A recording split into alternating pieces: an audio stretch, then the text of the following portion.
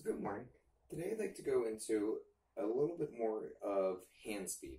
Now, a lot of time when I talk about hand speed, I'm talking about uh, men- mentally. So, for example, if I'm doing, say, four punches at it, oh, okay, let's start with two. One, two. One, two. If I do four, I'm not going one, two, three, four. I'm going one, two.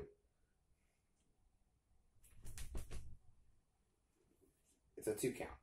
Now, what a lot of people don't realize when it comes to striking is they often will throw a strike and then they don't use that strike to build on to the next.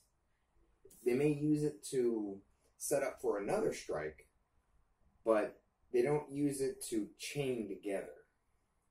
And what I mean by this is, for example, let's say I throw a back front, I pull back, and then I go for a hook. You see how I went from here and then I broke what I was doing? So, for example, in this technique, this combination, this is how it would work. It would be a downward strike to the thigh. So, if you can get me in the image, it would be here. So, I go one, two, three.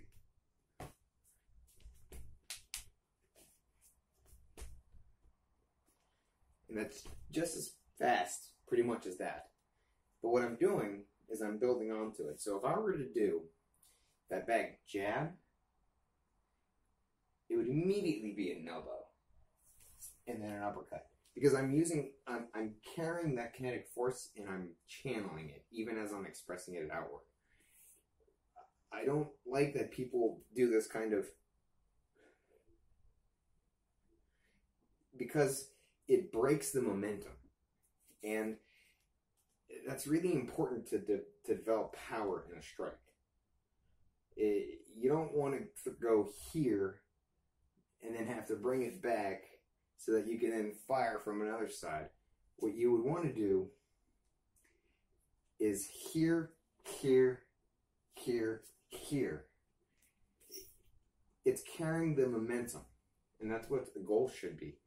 And this picks up the speed of the strikes because instead of me having to go one, two, three, sorry, one, two, three, I'm going one, two, three. It's much faster.